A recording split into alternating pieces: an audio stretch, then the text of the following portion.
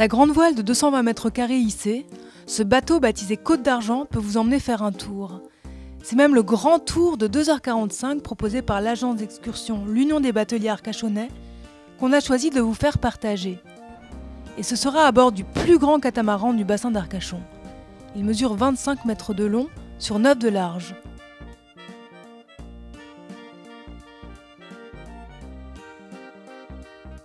Le Côte d'Argent peut accueillir jusqu'à 227 passagers.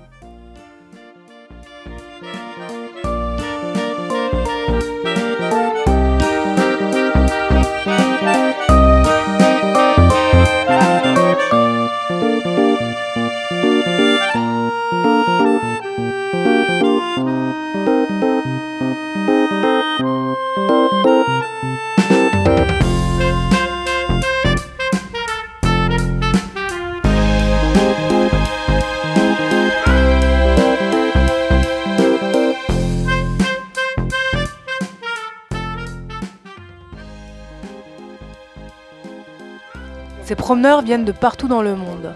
Et bah, du coup, c'est mon premier passage dans la région et je trouve que c'est vraiment très joli, qu'il y a pas mal de choses à voir, la dune du Pilat, tout. C'est très beau. ah, es muy bonito. Eh, es enorme la bahía de Arcachón y lo estamos disfrutando mucho. Las vistas son maravillosas. Bonjour, euh, je, vous, euh, je, tiens à vous dire que c'est une jolie croisière. C'est la première fois que je viens au bassin d'Arcachon. Tout ce qu'on a vu jusqu'à présent, c'est magnifique. Je suis là pour euh, deux jours en passage et en descendant en Espagne et ensuite au Portugal. Tout au long de la croisière, les paysages sont commentés par l'équipage. Piraillant. Ici, vous allez trouver des réservoirs à poissons qui ont été créés par monsieur Léon Lesca. Et ça, c'est un personnage important dans la presqu'île. On va revenir un petit peu plus tard avec euh, la chapelle algérienne.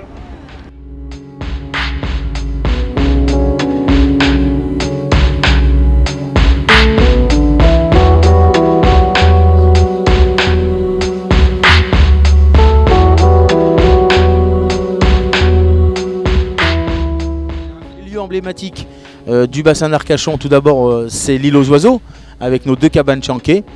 Lorsqu'on a fait le tour de l'île, ensuite on longe la presqu'île et euh, un autre lieu assez emblématique, c'est le phare du Cap Ferré. Et puis l'endroit, je dirais même pas emblématique, mais phare du bassin d'Arcachon, eh bien c'est la dune du Pilat. La dune du Pilat qui attire je crois c'est l'année dernière 2 500 000 personnes chaque année. c'est vraiment l'attirance, de le point principal du bassin d'Arcachon et ce qui amène le plus de monde sur nos bateaux en tous les cas.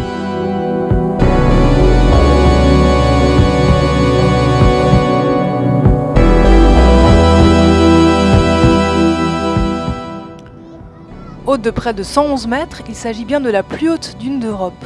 Elle s'étend sur 616 mètres d'ouest en est et sur 2,9 km du nord au sud. On lui a dénombré 55 millions de mètres cubes de sable.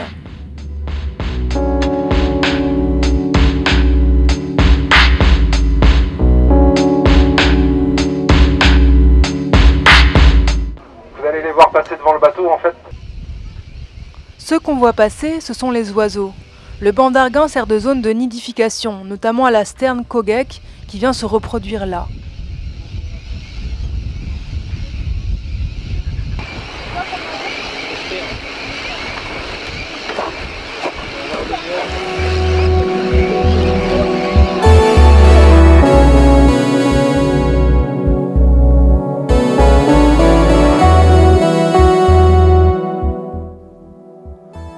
De la promenade, ce sont essentiellement des catamarans, des pinasses et quelques planches à voile que l'on croise sur le bassin.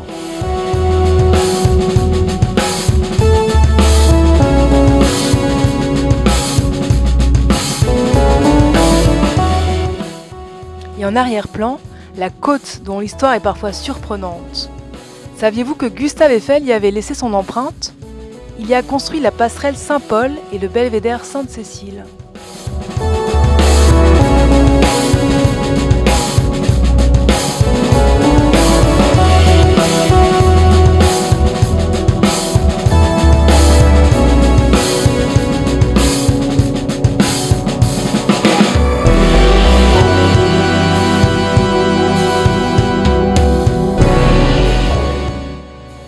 Voyant son succès grandissant, d'année en année, le Côte d'Argent devrait avoir encore de beaux jours devant lui. Plusieurs balades sont proposées selon les envies.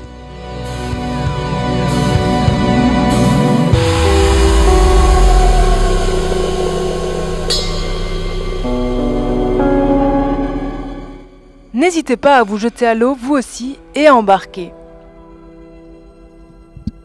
Vous ne craignez pas grand-chose si ce n'est un coup de soleil de la couleur du Côte d'Argent.